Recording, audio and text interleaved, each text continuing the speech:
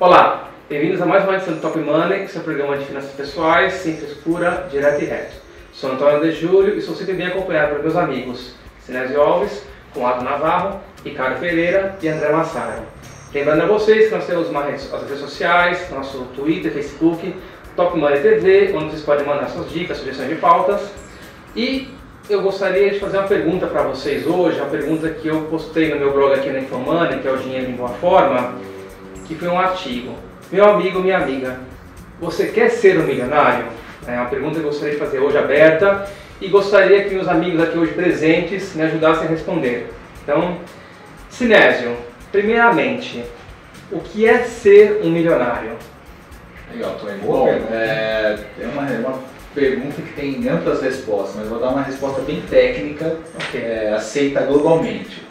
Milionário é aquela pessoa que tem um milhão de dólares líquido, não em imóveis, em carros ou em outras propriedades, líquido no banco em cash disponível para investir. Ativos investíveis. Ou seja, se a pessoa tem um milhão de dólares líquido para investir, ela tem muito mais, ou talvez um pouco mais que isso, em outros bens.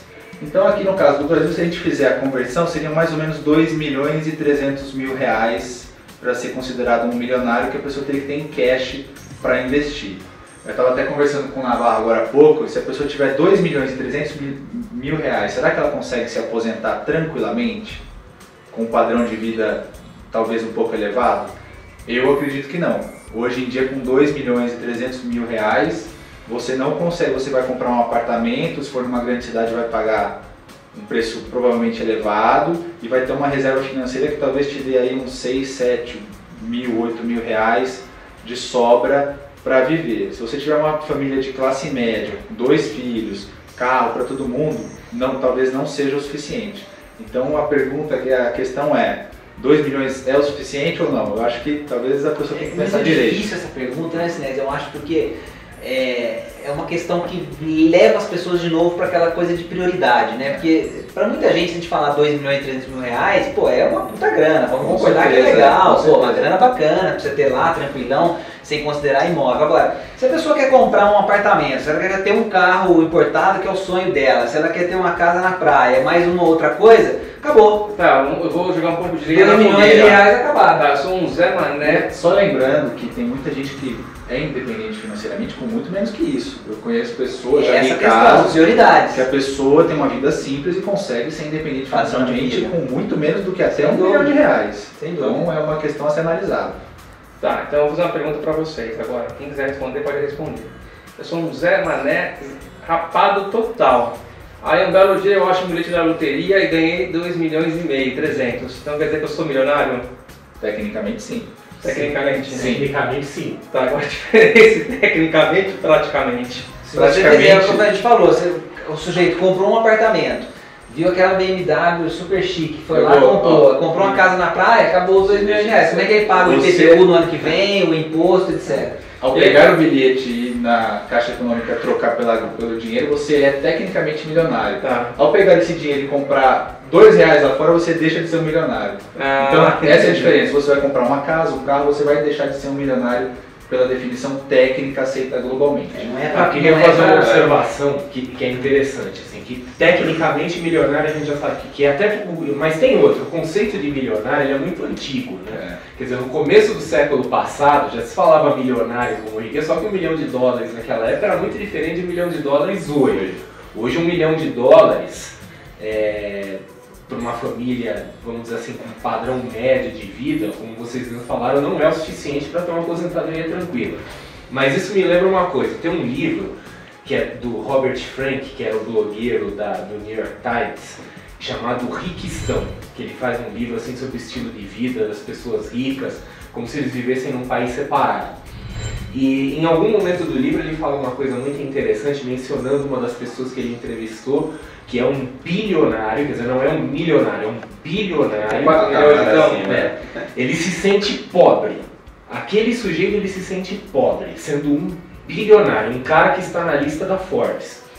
Mas aí ele explica, ele se sente pobre porque ele é amigo do Bill Gates. Ele frequenta a casa do Bill Gates, então o parâmetro de comparação dele é o Bill Gates. Então, para ele, dentro do círculo social dele, que entre os amigos dele está o Bill Gates, ele se considera pobre. E eu conheço gente nessa situação no Brasil. Eu conheço pessoas é, com patrimônios na casa de centenas de milhões de dólares aqui no Brasil e que se sentem pobres porque estão numa situação inferior comparando com as pessoas que, que conviveu na infância, etc. Né? Então, assim, esse é uma coisa muito interna, o que é milionário, porque, por exemplo, um sujeito como esse, pega, por exemplo, aí um, um grande empresário brasileiro aí, que a gente ouve falar muito na mídia, um sujeito que estava quase caminhando para a liderança mais rico do mundo, agora está logo logo cai fora da lista da Forbes, aí se continuar do jeito que está. Ele é muito rico, muito, muito rico para o padrão de qualquer pessoa normal. Mas ele hoje, se você perguntar para ele como é que ele se sente hoje, talvez ele vai dizer, eu estou pobre perto do que ele já foi. Só para fazer uma brincadeira, talvez esse é. seja o X da questão. É, por aí, né? Agora, por exemplo, se você pega na rua aí qualquer um que está andando, é, uma pessoa pobre, etc., se você é, pergunta para ele o que, que é riqueza tal, ele pode dar uma resposta assim, olha, se eu conseguir almoçar e jantar todo dia, eu sou rico. Então, assim, é muito interno, é uma coisa extremamente subjetiva. Riqueza só faz sentido na cabeça de cada um. E a definição técnica existe, é. mas ela já existe há muito tempo, a inflação já corroeu isso aí. Né? Tem até um caso né, brasileiro, assim, que é o jogador Adriano, né, que ele se sente bem sempre em, indo no, no, onde ele nasceu, tal, porque ele não se sente bem no ambiente dele, ele se sente bem. Então pode ser um pouco disso também, né? Lá ele se sente milionário, porque lá ele paga as festas, tal, até falamos um pouco isso no, no, programa anterior, né? Sobre a pessoa ser legal, né? A pessoa que é legal paga tudo, a pessoa chata economiza, né? Por aí. Se ele virar amigo do Bill Gates, ele vai fazer primeiro. Se for um jantar ali, um presidente do clube, por exemplo, vai se sentir mal, né? Bom, é, Ricardo, para quem não tem uns 2 milhões e 300, né? É isso? É, hoje seria mais ou menos isso. Tá, para quem não tem uns 2 milhões e 300, tá? Ele quer ser tecnicamente milionário, né? A educação financeira pode ajudar essa pessoa de que forma? Bom, acho que a educação financeira pode ajudar de algumas maneiras, né? Primeiro é fazer com que ele entenda o que ele precisa fazer para ele chegar lá. Quer dizer, ele vai ter que guardar quanto por mês, dentro das possibilidades dele, é claro, vai poder estudar os melhores investimentos que existem dentro do mercado. E uma outra coisa que talvez seja até mais importante vai ajudar ele em alguns conceitos. Primeiro é da independência financeira, que até o Sinésio tocou muito bem no começo, falando que de repente ser milionário para ele não é o bastante, né, que ele vai precisar acumular mais dinheiro, ou então é, ser milionário, né, isso tecnicamente falando, para ele já é algo até a mais do que ele precisa. E outra coisa também que a educação financeira vai poder ajudá-lo é quando ele chegar lá, ele ter um estilo de vida, um padrão de vida que vai fazer com que ele continue crescendo.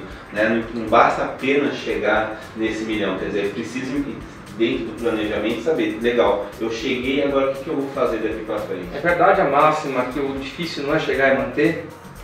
É, principalmente se a gente for olhar algumas listas aí de, dos mais ricos e ver como é que eles estão hoje, tendo o maior exemplo, esse agora há pouco que nós falamos, né, eu acho que faz bastante sentido. Eu, eu não sei se é mais difícil manter, mas a preocupação em manter com certeza é maior do que antes de chegar lá. Porque descer um degrau é sempre mais difícil do que subir um degrau.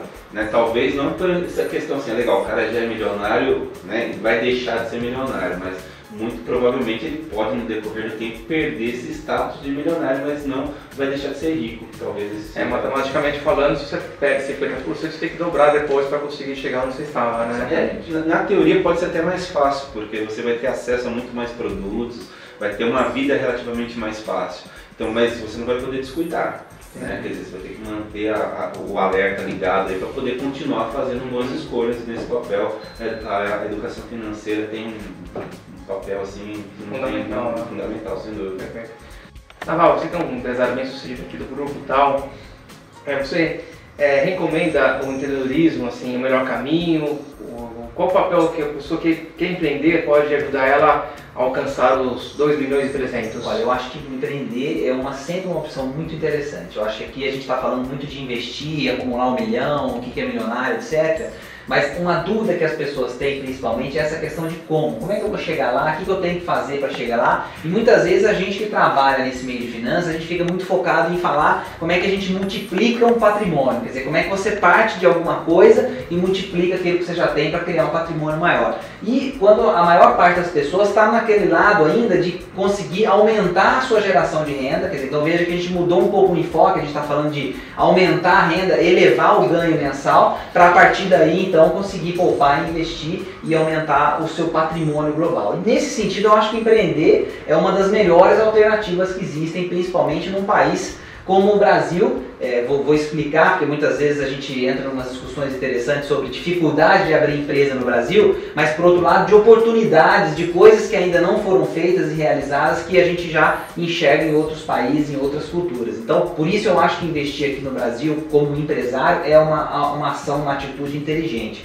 É, é, claro que isso é, requer uma mudança de, de, perfil que muitas vezes a pessoa demora um pouco para entender e aceitar. Quer dizer, a gente fala de, é, é, trata no dia a dia do empresário de lidar com risco, quer dizer, você é, tem que acordar e trabalhar, porque senão você não tem renda no final do mês, você é o dono do seu próprio nariz, dono daquele negócio, daquela empresa, você precisa administrar o negócio. Então, você não, não recebe o seu salário é, só trabalhando de uma maneira tradicional. Quer dizer, você precisa cuidar do negócio, significa muitas vezes trabalhar mais do que é, aquela pessoa né, que é uma pessoa com carteira assinada ou alguma coisa nesse sentido.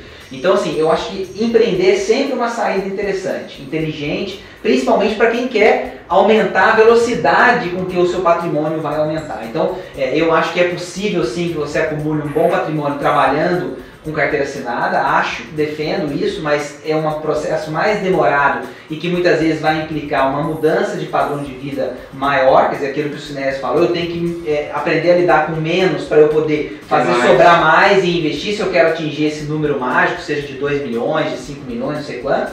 Ao passo que ao empreender, apesar do risco, você consegue multiplicar mais rápido se você acertar, obviamente, naqueles negócios que você abriu. E aí entra, lógico, a chance de dar errado também. Então, por isso eu digo que é um perfil, é uma característica que a gente tem que cultivar e melhorar, mas empreender para mim é uma das melhores alternativas para aumentar o ganho, para elevar a entrada de receitas para você acumular, seja lá o que for, independência financeira, é, enfim, imóveis, aí cada um vai ter de novo aquilo que o André falou, que é subjetivo. sobre isso, que é o seguinte, de novo falando assim das listas, né, as listas mais ricos, lista dos bilionários. Né? É, se você pega, por exemplo, as listas é, dos bilionários, pega da Forbes e da Bloomberg, você vai ver o quê? Que a maioria das pessoas que estão lá são empresários. Então, assim, tem algumas pessoas, conforme a lista, coloca político, mas político a gente não conta, porque não é da nossa área, né? Tem empresário e, e empresários. Alguns então, herdeiros, mas é, empresários por definição. cujo patrimônio vem de uma atividade Exatamente. empresarial. E a questão a gente fala muito assim do mercado financeiro, né, dos investimentos, dos produtos do mercado financeiro. E eu, e eu tenho certeza que eu não estou falando só por mim, tá? Eu tenho, eu estou ficando cada vez mais cético da capacidade de uma pessoa ficar rica apenas com isso apenas investindo. Então vai lá na bolsa, vai no mercado de renda fixa, etc e tal. Quer dizer, já foi no passado, quando a gente tinha taxa de 20, mais que isso por cento ao ano, era realmente possível. Hoje já é um pouco mais complicado. E, e, às vezes algumas pessoas, até entrando num pouco de negação, começam a falar assim, não, mas tem, olha quantos bilionários que são investidores. Aí sempre mencionam lá o George Soros, o Warren Buffett, etc. É antes um empresário, porque tem um Essas pessoas são empresários, elas não são investidores, elas têm empresas financeiras, quer dizer, o sujeito ganha a taxa de administração, né? é. operando o dinheiro dos outros. Então, é, o caminho mais é, comprovadamente de sucesso para ficar milionário é o empreendedorismo. O que não significa um caminho de sucesso absoluto. Muita ah. gente morre nesse caminho. É, não é exatamente sempre é. romântico. Exatamente, é, é um caminho duro. Né? A gente entra naquela clássica de risco-retorno. A pessoa, o empresário vai arriscar mais do que uma pessoa que tem carteira assinada em busca de um possível retorno maior. Não é garantido, pode dar errado, pode perder tudo. Mas tem que se arriscar mais para tentar ganhar um pouco mais. É, eu acho que é isso, eu assino embaixo, eu não posso falar muito porque eu sou meio maluco com essas coisas, gosto de investir é. mesmo. Então eu acho que é, investir em empresas, em abrir negócios, em participações com outras pessoas, eu acho que a gente tem que acreditar nessas Sim. ideias que a gente tem, projetos, e isso implica participar desses riscos de dar certo e de dar errado. É. Se deu errado, mas também levando em conta o seguinte, é, é, tudo bem a gente falar, falar da lista dos bilionários, às vezes a gente está chutando um pouco alto demais. Mas a carreira profissional, carteira assinada mesmo, aquela coisa que às vezes a gente até desdenha, ah, a vidinha de trabalhar numa grande organização tal, pode ser considerado um caminho viável para se tornar milionário. Sim. Basta ver no Brasil, fora do Brasil, a, a é, a quantidade de pessoas, de executivos em altas posições dentro de corporações que estão tendo rendimentos anuais de sete dígitos, às vezes mais. Então é, é mais ou menos como no empreendedorismo. Poucos chegam lá, poucos colocam a mão nessa montanha de dinheiro. Nem- O segmento corporativo Jogador- também é, viável. futebol, apenas 2%, né? São É. os que ganham, o que aparecem na- na- nas mídias por aí, né? Que é um 2%. caminho também. Então, por exemplo, jogadores de futebol, atletas em geral, pessoal que trabalha na área de entretenimento, artista, a gente tem uma dificuldade de situar essa pessoa, falar, mas o que, que é? Um empregado ou é um empreendedor? A gente não sabe, tá alguma coisa no meio do caminho. Mas são pessoas que chegam lá. Só que assim, o funil é, é bem acentuado e Acho que o caminho é setor, cruel. todo né? setor é um funil, né? É. Eu acho que independente de, de, de que forma a pessoa chegar a, a, a milionário ou não, é importante ter um planejamento.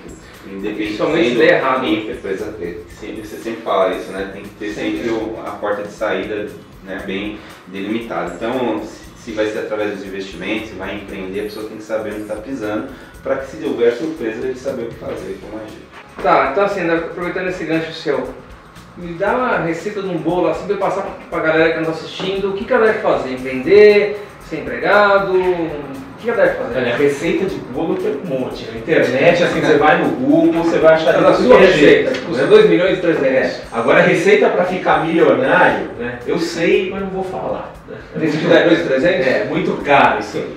Não tem receita, tá? Não há receita para isso. A gente discutiu aqui alguns caminhos. Mas assim, não tem garantia, não há, nenhum, eh, não há nenhuma certeza de que a pessoa vai chegar lá. Então, por exemplo, tem três caminhos que são caminhos mais ou menos eh, comuns, vamos dizer que a maioria das pessoas podem tentar, que a gente discutiu aqui. É o caminho do empreendedorismo, o caminho de uma carreira profissional extremamente bem sucedida, ou o caminho de se investir dinheiro puramente no mercado financeiro, que é o caminho assim que é- hoje a gente cada vez mais coloca ele em xeque. Né? A gente já não vê mais ele como uma coisa tão interessante. A tendência talvez até seja um pouco de piorar no, no longo prazo. E tem outros caminhos que são aqueles caminhos que a gente não pode ajudar. Então aquela coisa assim, já nascer rico, né? Sorte. É, é. É, Ir para caminhos ir pro eticamente né? discutíveis, né? É, tomar outros rumos, que aí assim já foge um pouco da nossa área de expertise, assim, né? Mas assim, existem vários caminhos, a pessoa precisa considerar todos eles, obviamente, né? E fazer um planejamento, o planejamento é o mais importante, a educação financeira, no fim das contas, ela acaba falando muito de planejamento, e não só planejamento do dinheiro, mas planejamento de vida, dos recursos, né? Quer dizer, aquilo que a gente sabe, o que a gente aprende, como que a gente usa o nosso tempo, quais são as escolhas que a gente faz. É, então, assim, não tem receita, tem formas da gente procurar aumentar um pouco a nossa chance de sucesso, mas não tem uma coisa, não, sucesso garantido. Pelo menos não é o nosso departamento. Eu só queria dar uma- deixar uma mensagem aqui pro, pro pessoal. A gente está falando, o tema do programa é o que é ser milionário. A gente falou em cifras altas, a maioria das pessoas que vão assistir isso vão achar que realmente a cifra é alta e ela é. É alto, sim. Mas que isso não é, não é algo para desanimar as pessoas. A gente, Pelo falou aqui de, a gente falou aqui de gente que está muito lá em cima e gente que está um pouco mais embaixo. E é possível você conquistar a sua independência financeira, talvez sem o primeiro milhão, sem o segundo milhão, como a gente falou aqui.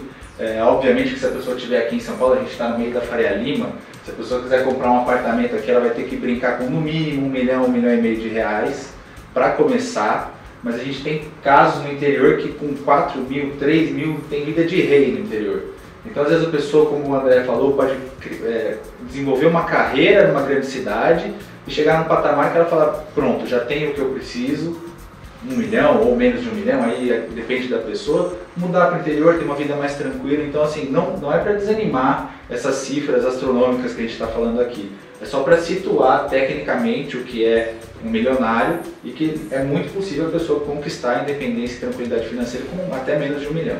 Perfeito. Obrigado, Sinésio. Bom, pessoal, estamos encerrando mais um programa. É, você tem alguma dúvida, suge- sugestão de pauta? Manda pra gente. Top Money TV no Twitter, facebook.com.br Top Money TV. Muito obrigado e até a próxima.